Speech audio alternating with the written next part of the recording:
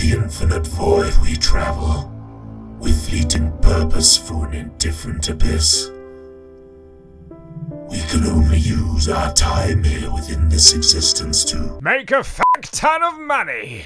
Join me, Monty, and also you've met my friend Terence, on an adventure to make a fuck ton of money! They thought I couldn't do it. There's an options menu. There's all sorts of things. Upgrade your ship. Give it a railgun with scattering lasers. Make it bigger, girthier, wider. Everything a growing boy needs.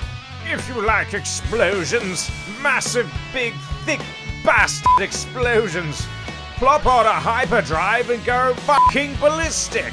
In-app purchases? Oh, I'm not supposed to talk about that. It's a metaphor for life. If you get this game, you literally increase in girth. Have I not mentioned that I'm in this game? I am! Ryan Gosling! Bruce Willis, Morgan Freeman, and now us, Terence. Who will asteroids trouble next?